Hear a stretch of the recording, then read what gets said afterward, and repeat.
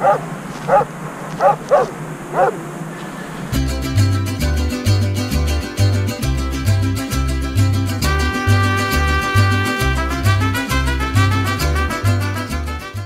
a tutti ragazzi e benvenuti in questo nuovo video. Apro l'anno parlando di un film che ho visto di recente al cinema, l'ultimo film della Disney Pixar, ovvero Coco.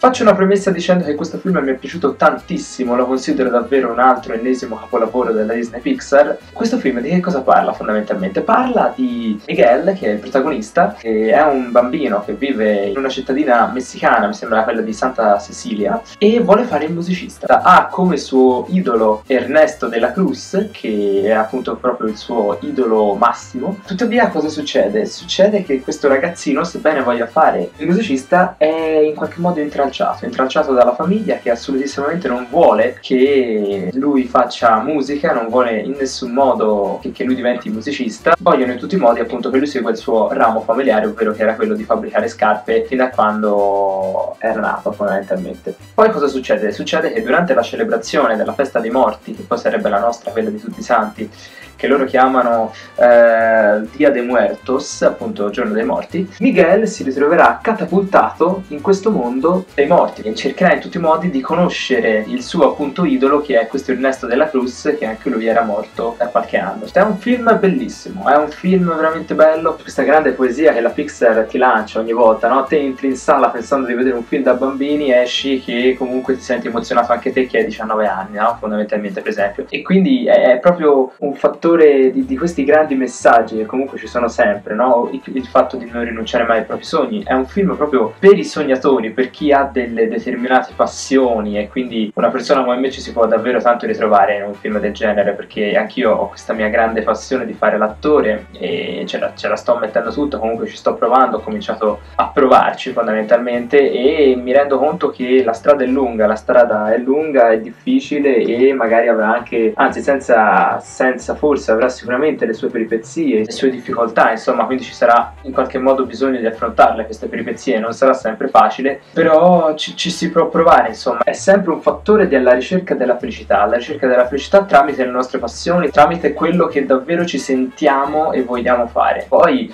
anche un discorso di idolo, lui ha questo idolo appunto, punto di riferimento per fare musicista e si scoprirà poi nella storia, non sto a dirvelo ovviamente, ma si, si riscoprirà che insomma questo idolo ha un risvolto interessante, insomma non è proprio come ce l'aspettavamo, ecco. Un film che poi celebra il Messi Messico e quindi questo film mi è veramente piaciuto tantissimo.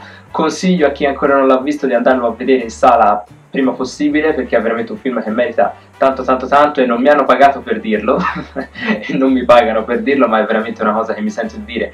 Anche perché non so se l'avete notato in quest'ultimo periodo comincerò a fare video appunto di quello che proprio mi piace parlare dei film che vado a vedere al cinema dei film ora per adesso diciamo ho trattato più che altro film d'animazione. Però insomma non lo so se a me un giorno mi viene anche di parlare di un film che ho visto di recente che come ad esempio un altro film che ho visto è Jumanji recentemente. Anche quello secondo me ovviamente è un genere genere diverso dal primo, da quello storico del 1994 con il grande Robin Williams, ma secondo me anche questo, diciamo, sequel remake vale la pena di essere visto perché comunque è davvero divertente, Jack Black e The Rock sono fantastici e quindi è un esempio, ora non è che farò un video apposito di Jumanji, però era per dire insomma, ne approfitto anche per ringraziarvi di tutte quelle persone fedeli che comunque tutte le volte che carico un video lo guardano, qualsiasi video sia, di qualsiasi argomento vi stia parlando perché comunque magari si fidano di me o di quello che, che comunque ho da dire e questa cosa mi fa veramente tanto piacere. Quindi io vi invito se volete a lasciare lasciare un mi piace a questo video, a lasciare un commento e iscrivervi a questo canale. In descrizione vi lascio il link alla mia pagina Facebook e al mio profilo Instagram. Trovate i due link in descrizione. Li metto da quando ho cominciato a caricare video, ma eh,